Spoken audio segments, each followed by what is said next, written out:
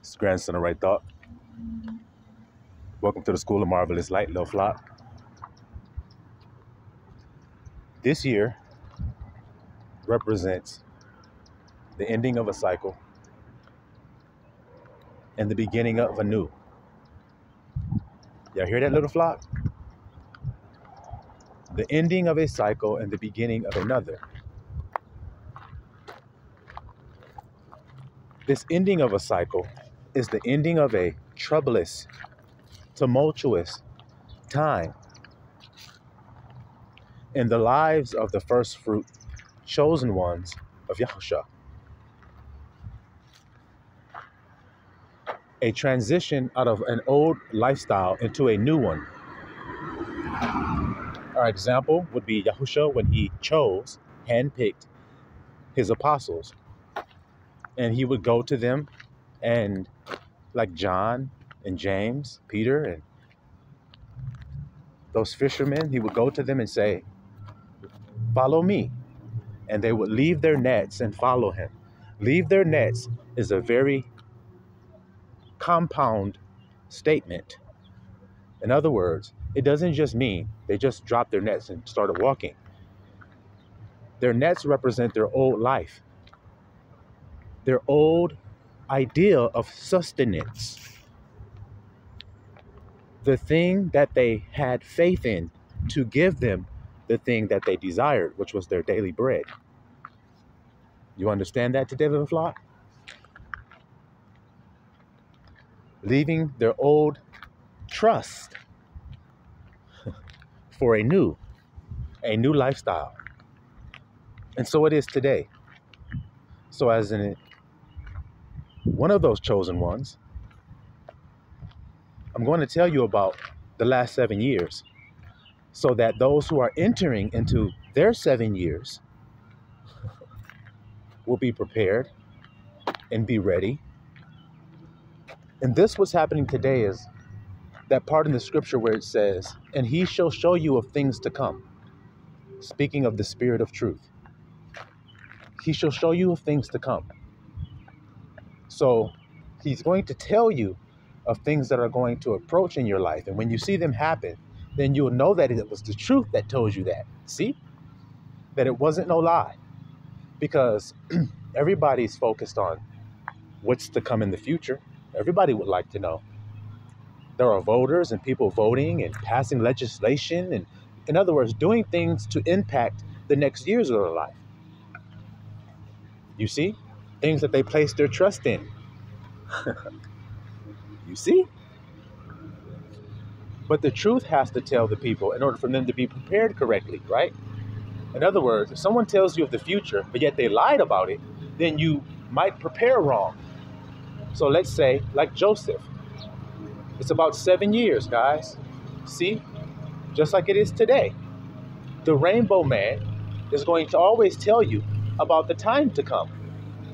That's where you know where the spirit is. The rainbow man is where the spirit is. I say the rainbow man Joseph wore a coat of many colors that represents him being the spiritual man in the reflection of the Father, whose image is the image of a rainbow. If you read the prophets, you know that. So that's why Joseph has a coat on in the image of the Father. So, so it is today. You see? So he's going to tell you about these seven years. Joseph said there would be seven years of plenty and then seven years of lack. So the whole nation heard that and responded. You see that there? And prepared. And many were saved because they listened to what he said would happen. And so it is today, little flock. If you listen today, then you'll be prepared.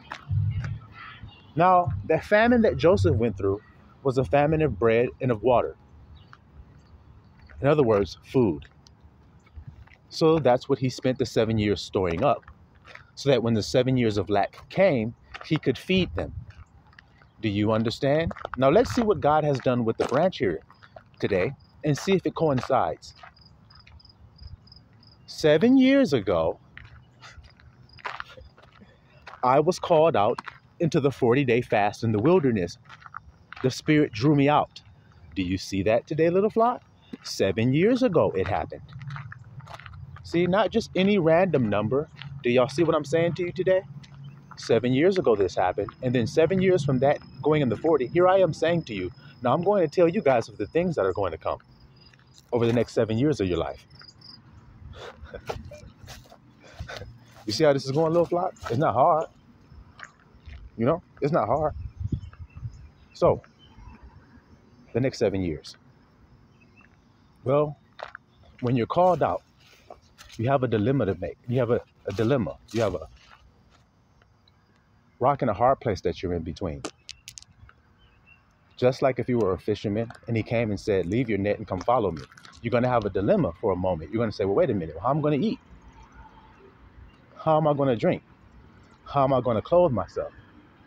How am I going to live?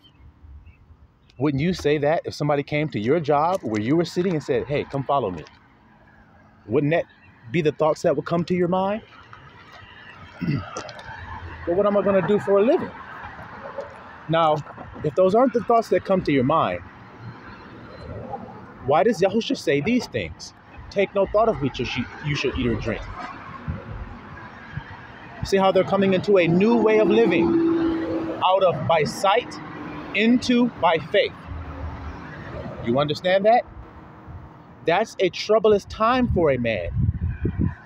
Do you understand, little flock? The transition from one to another is a troublous time. It is a tumultuous time in his life where things are flipped upside down. Because living by faith is the true way to live. Live, walking by sight is the false way to live. So that proves that if you were walking or trusting in your net, you understand what I'm saying? That you were walking by sight in what you could see. So that you were living the false life. So then the things associated with your false life must disappear when you accept the true life. You understand that today, little flock? Like the matrix with the red pill and the blue pill. Do you understand today? You understand it? You got a choice to make. Am I going to accept the truth or am I going to go back to the lie, back to the comforts of living a lie, just like the children of Israel in Egypt? It's no different. It's the same thing. So if he's extending his hand the second time to deliver his children from the places where they are scattered, which he said that he is, then it will be no different today than it was the last time he extended his hand to it to save his children. It will be the same because he changes not. So you come out of that old way of living, which is by sight, and then you start to wonder, how am I going to eat? How am I going to live? Now, take the grandson as your example. I told you seven years ago I was in the 40. Well, a month from now will mark seven years because I went into the 40. July 16th was the first day of me going into the 40 days. July 16th. So uh, it's June now. So about a month from now, it'll be seven years. You understand that today, little flock? So we're coming up on that time now. Well, for those for these seven years, I have not worked.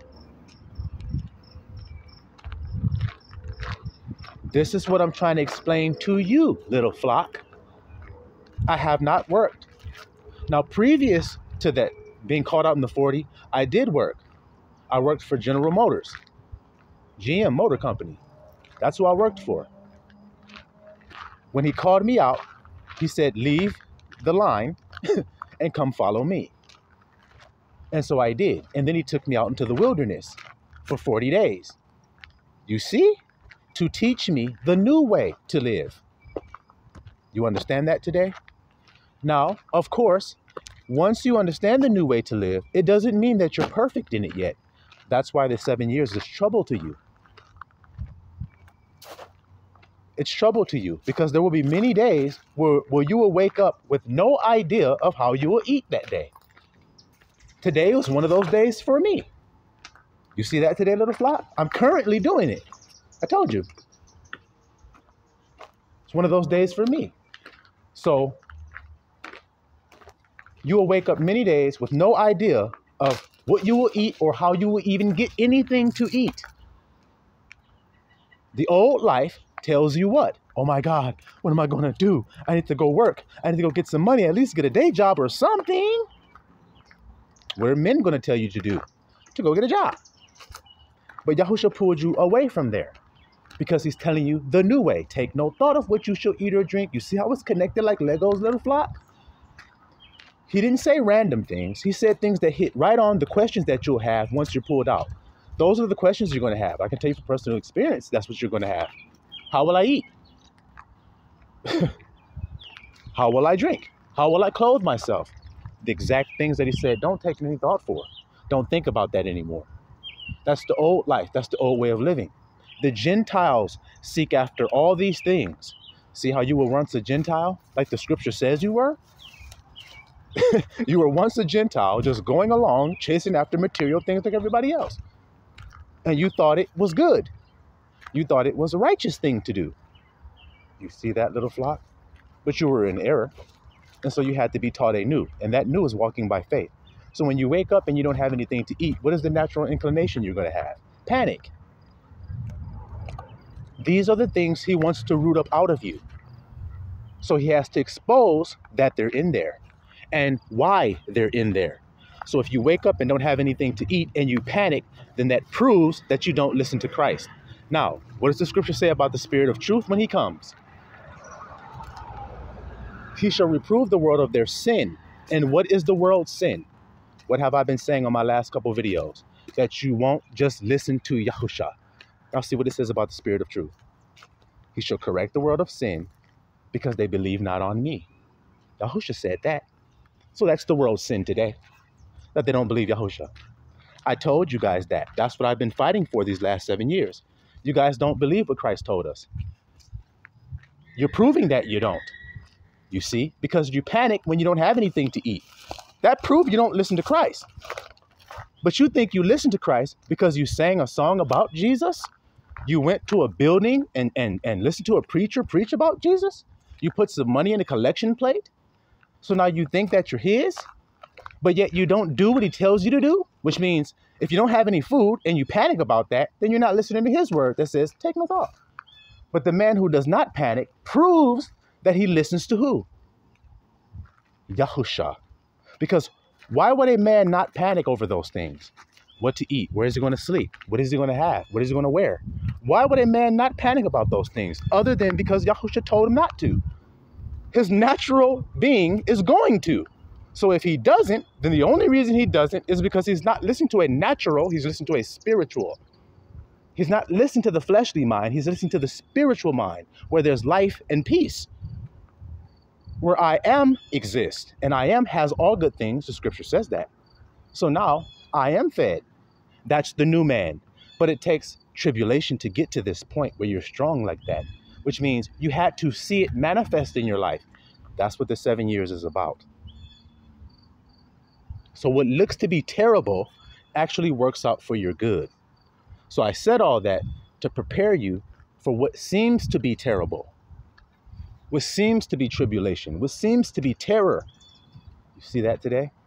It has to do that to see if you have anything in you. That's that's not that's contrary to what Christ taught. You see what I mean? Oh, I follow Yahusha. I follow him. Okay, now how do we prove this? Job have you considered Job a perfect man, escheweth evil, upright? Well, he only did that because you bless him. Okay, we'll take everything away from him and see if he curses you. Do you understand that taking everything away from him, what that means to a human being? They get panicky, they get afraid. But the Bible says Job did not. He didn't curse God, but he said, Blessed be his name. Lodge, that direction. Yep, yep, no problem. So y'all see that today? It's going to prove who you listen to by how you respond to a hard circumstance. Not an easy one, guys. So the tribulation is a hard circumstance, but it's hard so that it can prove who are his. This is how he sifts his from the tares, the wheat from the tares. This is how he does the sifting. Trouble is how. Who listens to me? Let me take the food away. Now, there are some saying, I am fed because there isn't any food with their eyes, but they don't walk with their eyes. Those are the ones I like. That's how I manifested them. Can you hear it today, little flock? So, so it is with me. Who I was all along was manifested by what I did when things got hard. You understand that today? Now, when it gets hard, brothers, it won't always be easy to do the thing that I'm talking about because you get anchored down to this reality and you become carnally minded. That is a reminder that you're carnally minded. And there will come times, brothers, when you get carnally minded where you'll just want to sit in it for a minute and you won't fight to get out of it in that moment. You'll just sit in it for a moment. That's okay. That's okay. It's just like a fighter who's in a fight who gets knocked down.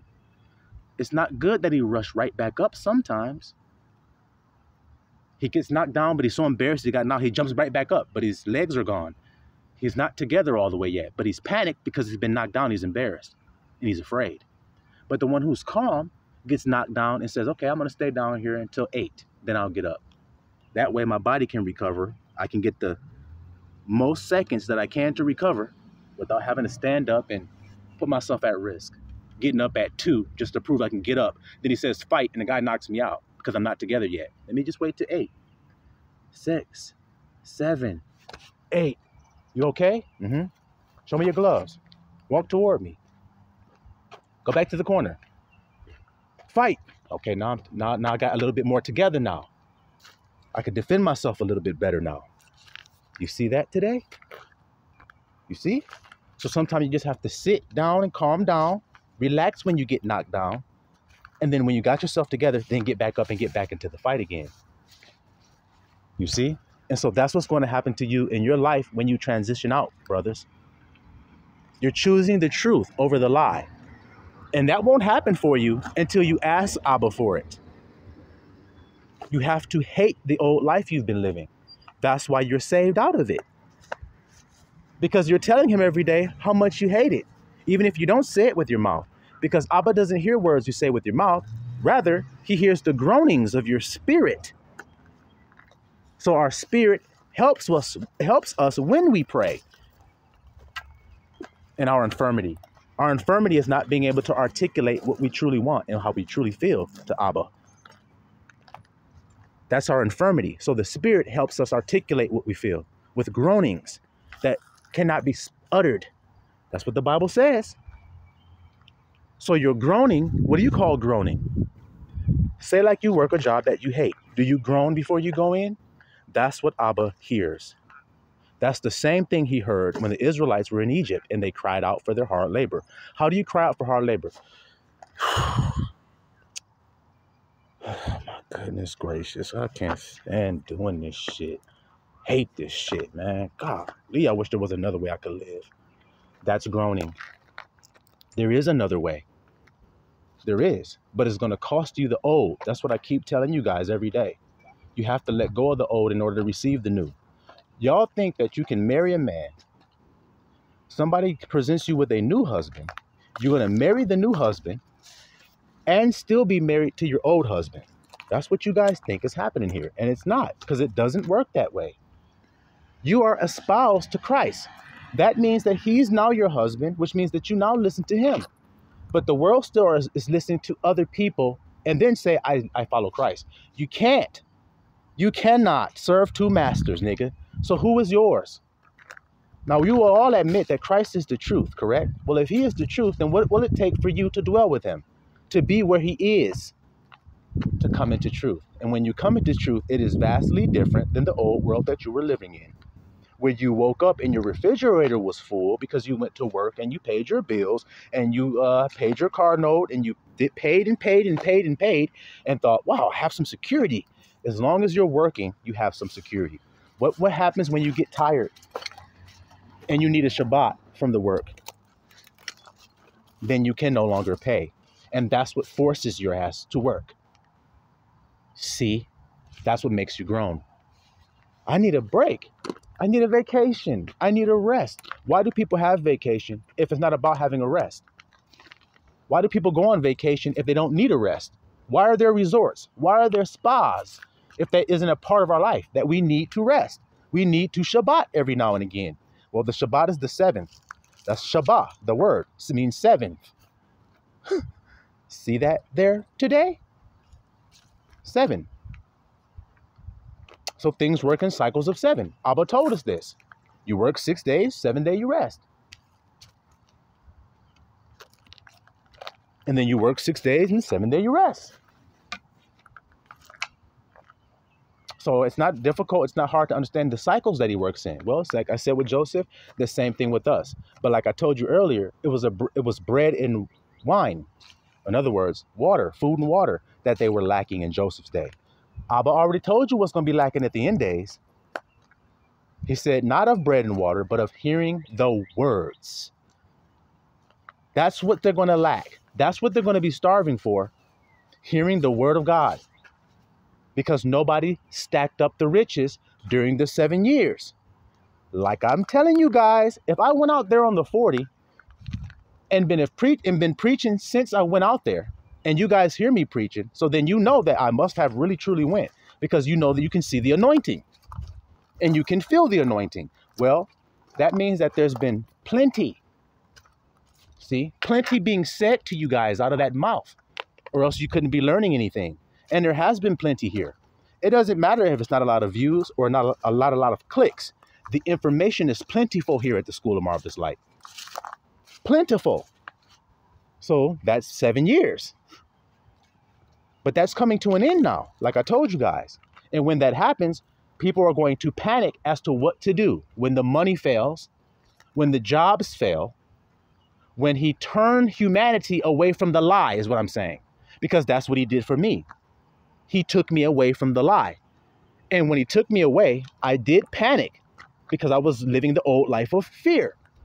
Oh my God, my wife, my kids. He removed those things. And I mourned sore over it. You see, little flock? Mourned sore. It was greatly distressed over it. How is this any different than what Abraham suffered? When Abba told him, You would have a child of promise, you will have your son. But he thought to lay with Hagar and have the child because he thought that's what Abba meant. And then what happened with Hagar and Ishmael eventually? They were kicked out, and it greatly distressed Abraham. He was wounded by it. Yep, same thing with the grandson of right thought. When I married that woman and had those children and had that family, I thought that was eternal. In other words, I thought it was permanent. That was my family, and that's the way it was for the rest of my life. I see that it wasn't. So then, was it true? But do you think it's easy to turn away from the wife that you say you love and the children that you bore? Do you think it's easy? Do you think it feels good? Do you think it's pleasant? No, it greatly distresses you, just like it greatly distressed Abraham. You see? And just like it greatly distressed me. So I'm describing it for you, brother, so that you know. So when the great distress comes to you, you will be able to bear it, knowing it before it happened, because that's what preparation is. It's knowing a thing before it occurs. So I've been saying it and I've been saying it, I will continue to say it. If you're not living in truth, then everything that you have will be taken from you. Whether it's your child, I'm a witness of it. That's how much it will hurt you. What does the scripture says? The mourning of an only son. That's a very difficult, hurtful thing to get through, is what God is saying. And I had to go through it and still continue to. That pain of building something in vanity, building it in vain. And that's what God said, don't. Now I'm proving to you that God said, don't do that because it will hurt you. Why do you tell your children not to do the things they do? Child be on the bed playing, and they're on the bed, the bed's kind of high, and you're sitting there, and the child starts moseying his way over to the edge of the bed, and you're like, no, don't go that way and he just keeps going, keeps going. You pull him away from the edge, you pull him back to the center of the bed. You're like, stop going over there. Don't go to the edge. Stay here. and then he crawls back over there to the edge again, to the edge again, to the edge. He's almost about to fall. You grab him again. Come on, man. Now, why are you doing all of this? Come on, stop, sit down. Why are you doing that? To protect your child from harm. So then Abba do the same thing for you. Hey, stop, sit down. Don't do that but you go and you do it anyway, and then you suffer when you fall and hit your noggin. Ah! And the baby will cry until daddy or mommy comes to pick the baby up to comfort them from their fall. So it is with Abba. So it is with Abba. When you see, when you fall off the edge and you see that what he was trying to keep you from was this feeling you're experiencing right now, then you turn to him and you confess and say, Father, I understand. I understand now. I get it now why you were telling me no. Why you blocked me from that woman and I still went after her anyway. You showed me the red flag. That's what red flags are. There wouldn't be a need for red flag if there wasn't somebody who loved you who was putting the red flags there, guys. Abba love you. And he put the red flags to keep you away from it, but you want it too bad and you go after it. It's always been that way. And so the more you dig into that life, or the more diligent you are about building it, the more you it will hurt when it goes away. Because it is. Because it is, guys. That's what I'm here to tell you of the things that are to come. A famine. And for and for the elect, it's because you're you're transitioning into the new. We're not worried about the tares right now. We're talking about the elect and how this affects them, the main harvest. Because the first fruits aren't a lot, guys. First fruits just a few. They're just testers. When you go to a tree and say it has apples on it, the apples are not ripe yet. You can look at it and tell. But yet there are about two or three that are already ripe. Those are the first fruit. You say, wait a minute, there's some already ripe. And then you taste them. Wow, they're sweet. They're done. They're ready. That's the first fruit. So he's gone through the process of being plucked off of the stem, the old life, and being consumed and eaten and become part of a new creation or espoused to Christ, that is, the one who's eating the fruit. See that there, little flock? Well, that process is the same thing with you. You're snatched out and then you're consumed or you become one with Christ. Eat my flesh and blood, drink my blood. You see, and become one with me. That's what you have to do, but that takes a process of growth. And so, through these losses, brother, which are what I'm preparing you guys for, are these perceived losses. It's always standing on the truth is what's going to get you through it. Otherwise, it'll kill you. It'll kill you. It'll eat at you and eat at you and eat at you, trying to convince you that it's the truth when it's not when it's not. For instance, if it's your children, if you have children and you are snatched away from them because of this transition into truth, and they happen to still have to remain in the world of lies for a time, then you will be distressed fighting for that lie to remain, not knowing it's a lie to be let go. Just like the children of Israel do with the law of Moses when Yahusha came to bring us the new. They can't let go of the old one.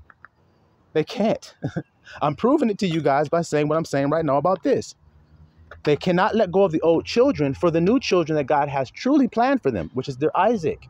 They'll never have Isaac if they don't let Ishmael go, because they're not they're not going to inherit to, inherit the same things, because they don't have the same mother. Can you hear it today? So I'm going to give you guys an example. If I married a woman who was a bondwoman and had children with her, and then I separated from, from her and went on to some other location and met another woman who was a free woman and had children with her. Will the children be raised in the same environments? Will the children have access to the same amenities and things of that nature? No. Will they have it will they have access to the same education? No.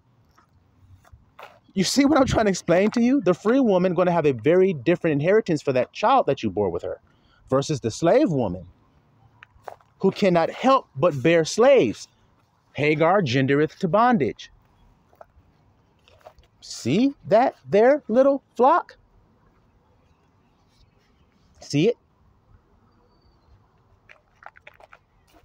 So, no, they can't inherit the same thing. So, you would have to let one go for the other, just like Abraham did. And you will be distressed. But when you hang on to the truth of it, well, Abba said, this is a promise. That was never a promise. That was something I did on my own will. Yahusha said, not mine own will. So then I proved I was in error when I went on my own will. And all of you brothers did, or else you wouldn't have been existing in Babylon. Shit. Y'all went on your own will, which you thought was good, until Abba revealed to you the truth. This was the true way of living. Faith is. So what are you so you're saying, Abba, that I have to wait until the thing that I have asked you for comes to me? That's what I'm saying to you. Isn't that easy and light to do? Well, yeah, that's free living. That's like room service. or a waiter coming to me to serve me at my table. So that's why it's called a waiter because it represents the high life, patiently waiting for the thing that you know you're going to have. You wait for it. The old life is about working to get it yourself. Slaves have to work to get it themselves, and they only get peanuts. But a free man does not have to work to get it himself. He makes his request known and he waits. Now, what did Yahusha tell us to do? Make your request known. Boldly do it. Now, why did he say boldly? Because Mount Sinai gendereth, uh, which is Hagar, gendereth to bondage. So what happened out Mount what happened at Mount Sinai when the children of Israel first met their God? They were afraid, it says. They could not stay there. They said, No, run away from this damn mountain. It's scary. You see what I mean? So then, how can I say, Come boldly? Because when you're not going to Sinai, you're going to Zion. You're going to the Mount Zion now. Sarah, who is the free woman, who you just come up boldly and say, Mama, I want this. She says, Have it. Well, let's see. Ask believing and you shall have it. Is that not what Yahushua said about the free the free mother? That's what she'll do for you? Ask anything believing and you shall have it. If you have faith the size of a mustard seed, you should say this and it'll happen. He's making it so easy that it seems fake to people. To the faithless, it seems too good to be true. Make my request known and it will manifest to me. That's what you're saying. Hell no, man. Hard work, hard work, hard work. Did you know that that was a curse? It ain't no damn curse. It's a blessing. Hard work is a blessing. Okay, read God's word. By the sweat of your brow, what? So how come when he first put him in the garden, he didn't mention no sweat of no brow? It wasn't until he went astray and was kicked out of the garden, that's when the sweat and the brow and shit came and the hard labor came, didn't it? So that would be a curse, wouldn't it?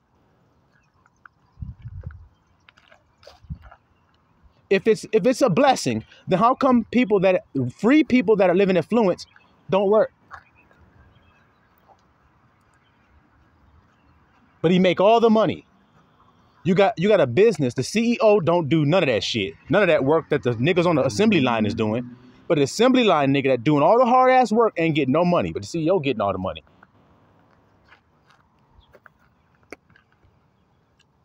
Is this true or is it not true? See? You all are in two worlds, aren't you? Yeah.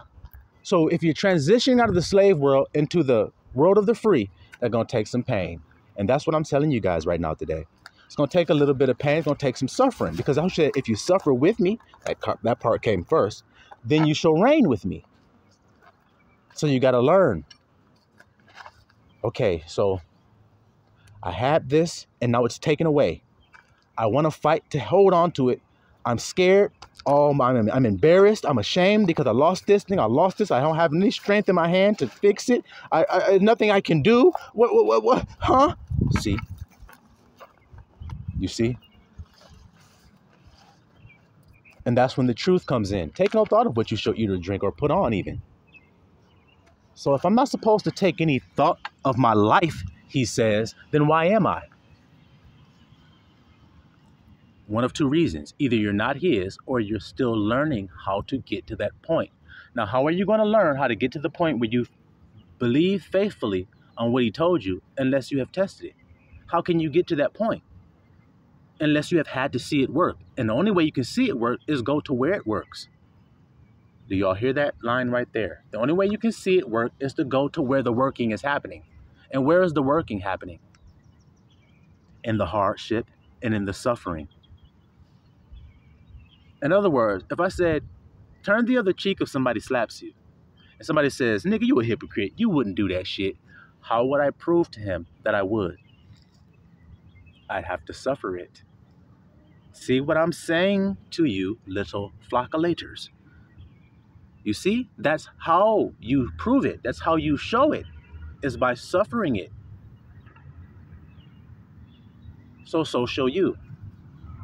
Now, as you go and you transition through these phases of learning how to walk by faith and not by sight, you're going to be carried through different locations to meet different people, to ultimately minister to them or to aid them in some way, shape, or form. You will be tested when you go there.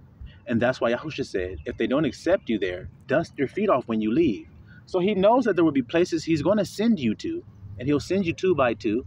See, there's one who's with me, who I call the witness, who has been with me on this seven year journey because he sends you out two by two.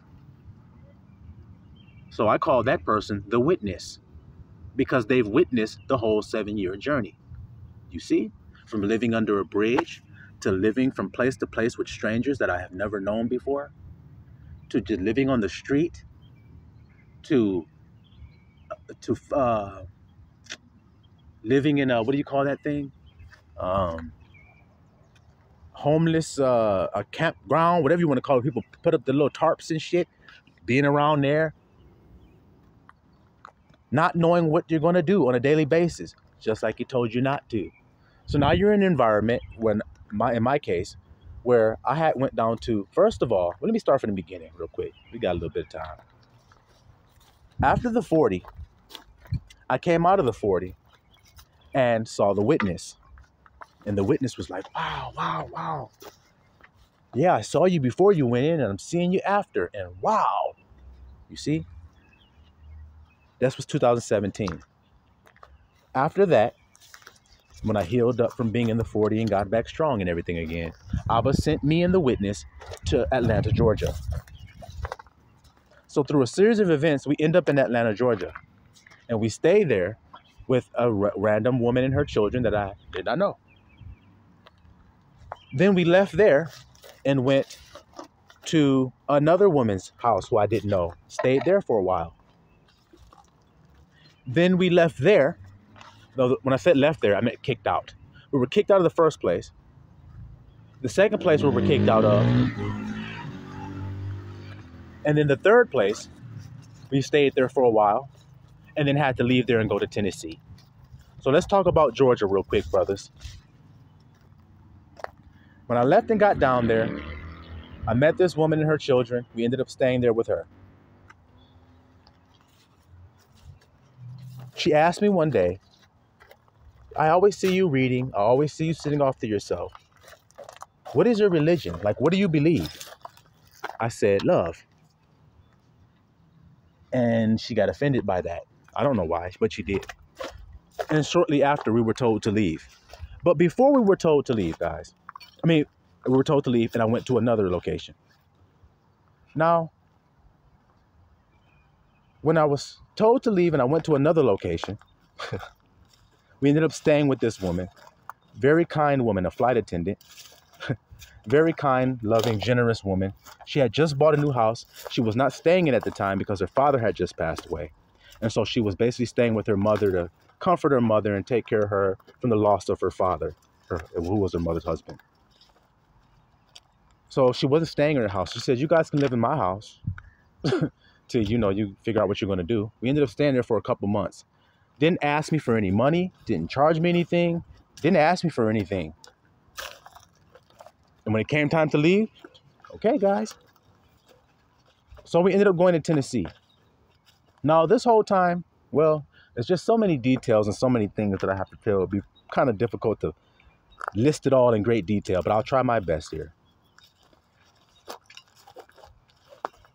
Before we went to Tennessee, we had a car. It was three people. It was me, the witness, another lady, and her children. So more than three people, but three adults. Me and two adult women. And we went and went to a hotel to stay there for one night. And the car we were driving, we had just got there. The car we were driving got repoed. So all of our belongings were in the car. And I mean all of them.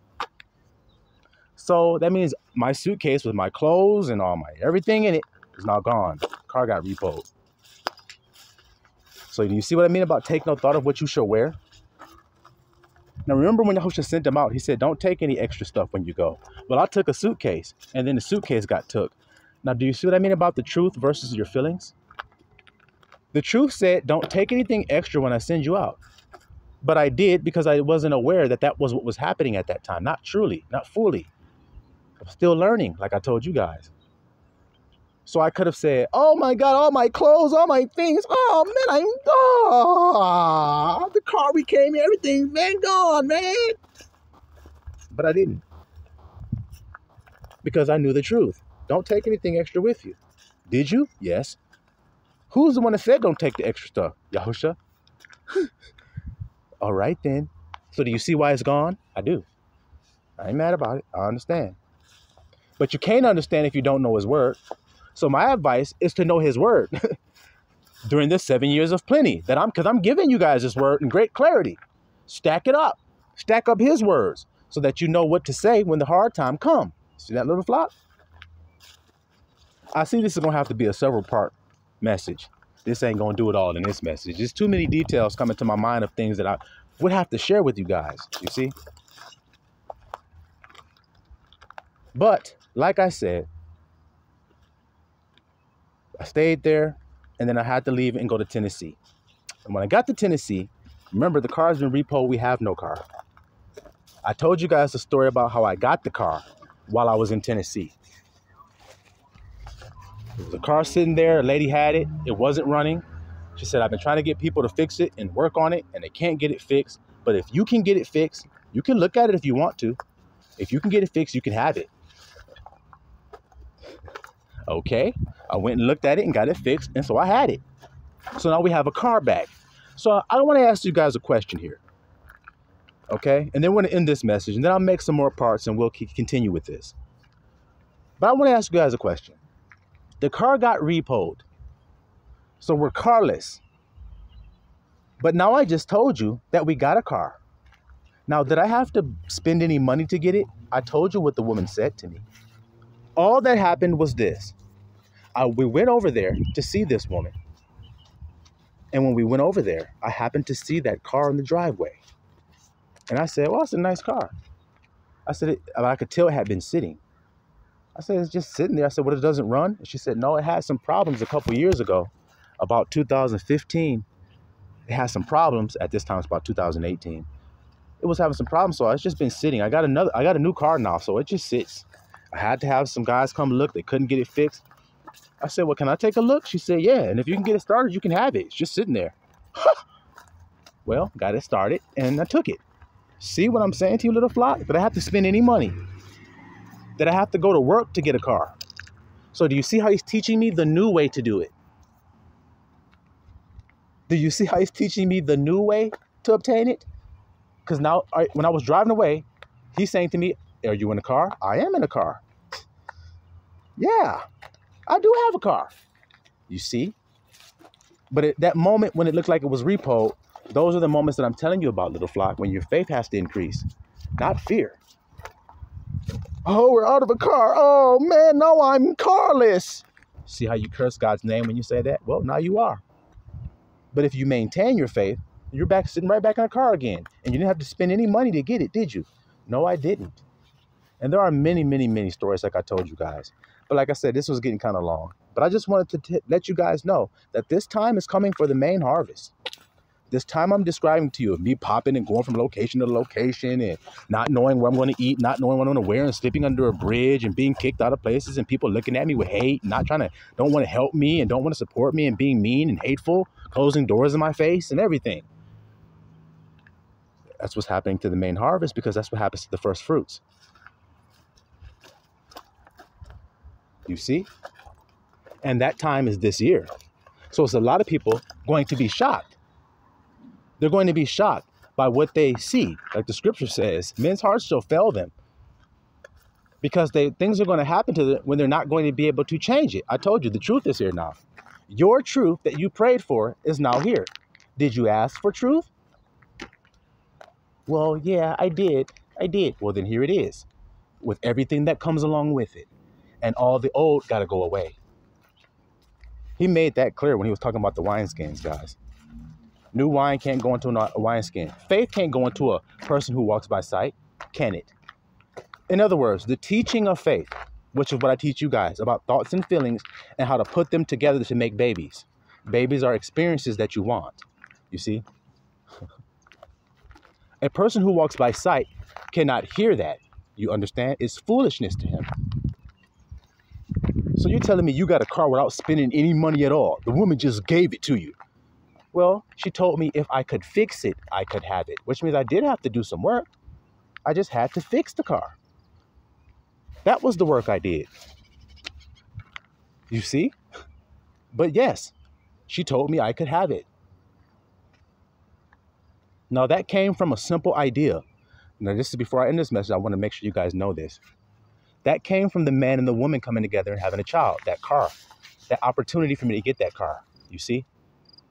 Okay, they came and repoed the car. Okay, I'm in a new one. I have another one. That's what I. That's what I am. I'm chilling. Got me another car. It can't take nothing from me. yeah. If you have that attitude that you already have the substitute for what they so-called took, then it will come. But if you only focus on what was taken, then you're proving that you thought that that was real. No, it was the lie. That's why it was taken.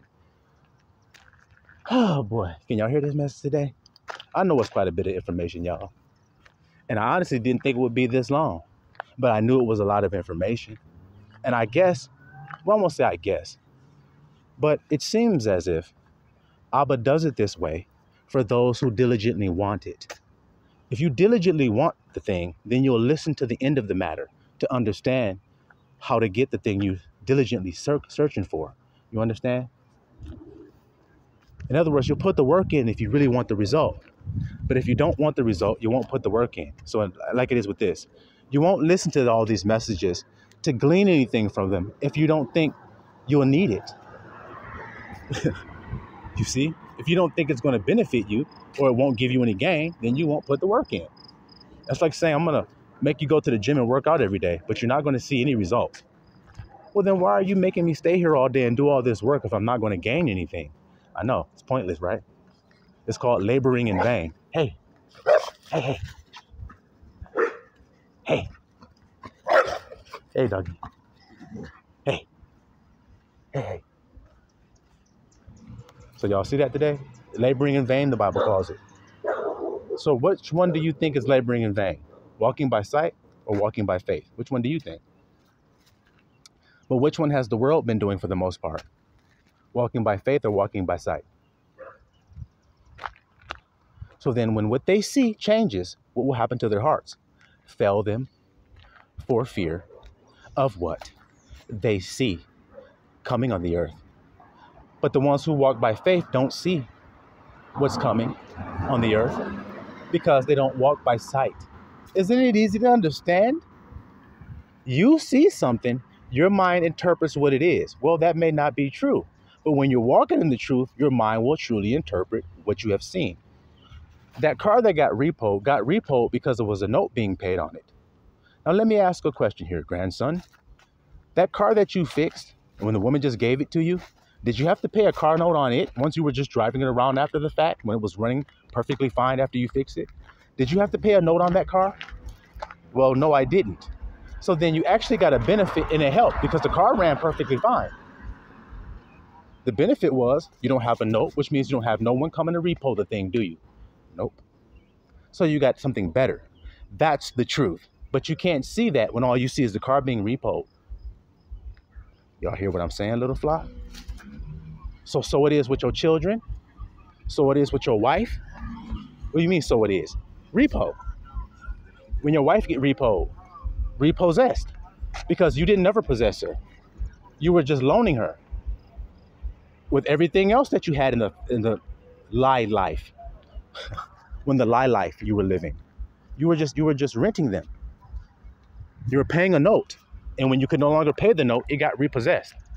So in other words, whatever it is that you give that woman that you're with, or that man that you're with before you're called out, whatever you're giving them to keep them to keep them staying, once you live in truth, you no longer give that anymore.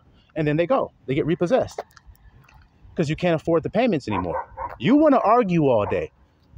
I don't argue. I'll discuss it with you, but I'm not going to argue and scream and hoop and holler and fight. That's the old me. I don't do that anymore. Well, that's the way I stayed. That was the payment to keep me. I'm not willing to pay that anymore. Well, then buy repossessed. Well, repossessed? Who possessed you, woman? Well, if she ain't yours, if she was a lie, that tells you who possessed her. Told you about the dream I had with my ex wife. I told you all about that. so, when the repossession happens, what do people do? They run after it and try to stop it from happening. And what does that cause? More problems. Doesn't help you. So neither does it help you when you try to run back and grab back the things that I was going to snatch out of your lives. I know that, like I said, money makes you guys feel safe and secure. But y'all have to know that eventually it's not going to work. It's not going to do the same thing it used to do. Does it? Yes, it does. Okay, well, when you were a kid, you went to the store and you bought a bag of chips, a pop, a damn bag, or a thing of Twinkies, and a fucking every damn thing, candy and shit, and you spent $5, right? Okay, now go to the store and try to do that same thing today. You're going to spend $25. So then you're a liar. It doesn't do the same thing it used to do. That's where that phrase, bang for your buck, came from.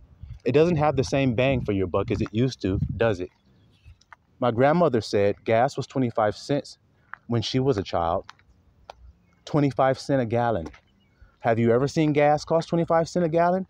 So then it's changed. And it hasn't changed for the better because I guarantee you, you would all want your gas to be 25 cent, wouldn't you? Right then. All right then. So it will fall. And when it falls, the things that it gave you will go get repossessed. Can't pay the bill, time to repossess the furniture, the house, the cars, can't pay your mortgage, give me the house. And that what happens? You don't own it. You're like, that's mine. They're like, you don't own it, the bank owns it.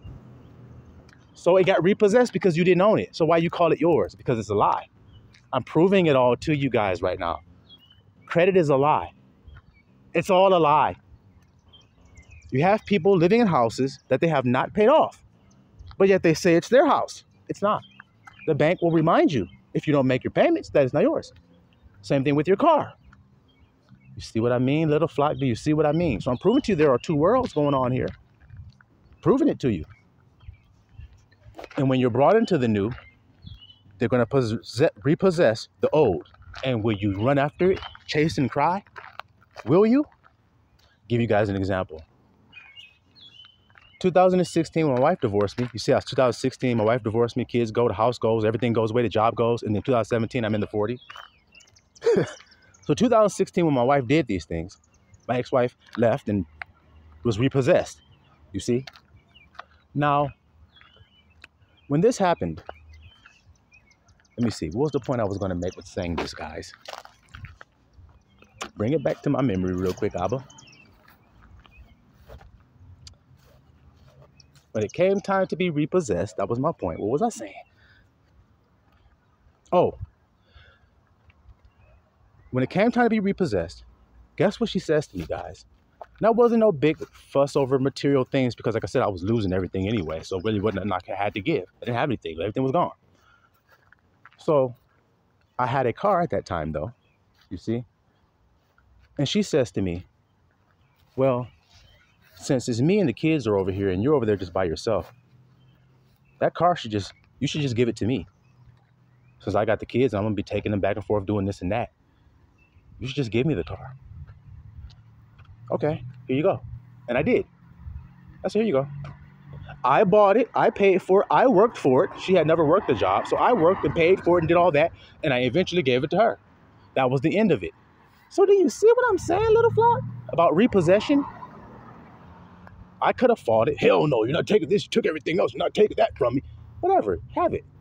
And that's how you have to be with the old, because that's part of the old, isn't it? All right then. That's how you have to be with the old. Go ahead, have it. Take it. Because I know the truth of it. I'm getting something better in return. I'm getting my Isaac in return. I'm getting my double portion in return. Because I know the end of Job, and the end of a thing is better than the beginning thereof. See, little flop. So, like I said, We'll just be talking and talking and talking and talking and talking.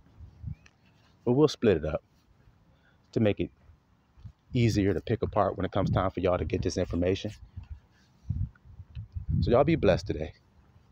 Hopefully that was edifying to the brotherhood. And we got more to come. Still a Israel.